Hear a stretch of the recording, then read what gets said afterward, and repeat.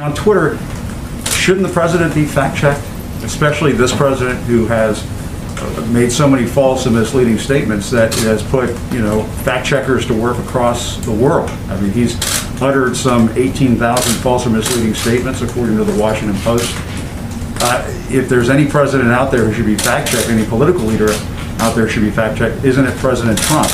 And aren't you trying to silence fact-checking by going after Twitter like this? Look, well, first I would say I disagree with um, all, if not almost all, of those assertions that you're making there because, look, if you're going to get into the fact checking business, President there's no one that should be fact checked more than the mainstream media that has been continually wrong about a number of things.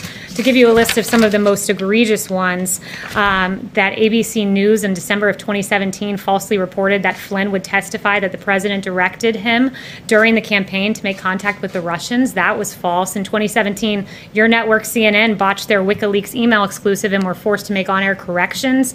CNN's Jim Sciutto, another CNN one, uh, dropped a fictional bombshell in 2018, July, claiming that Michael Cohen would tell federal investigators that the president knew of the Trump Tower meeting. And there are many more, not to just put the onus on CNN there. So if anyone needs to be fact-checked, I think it should be the media. there are nu- news outlets that make mistakes from time to time. We own up to those mistakes, we correct those Not mistakes. always. I have many you guys haven't owned up to, I could get to. We do on a, on a regular basis. The president never owns up to any of his false or misleading statements or outright lies.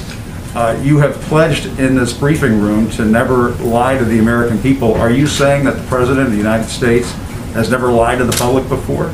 I'm around the president. His intent is always to give truthful information to the American people. And you mentioned that the media apologizes for their mistruths. I mean, I'm sitting here looking at other headlines in the New York Times saying there aren't enough ventilators to cope with the coronavirus. In fact, we had an excess of ventilators we've shipped around the world. Washington Post, U.S. health system is showing why it's not ready for a coronavirus pandemic. We were ready. There's many more I could get to. I could, on the coronavirus specifically, I could spend the time going through these, but I don't think that's what the American people want to hear.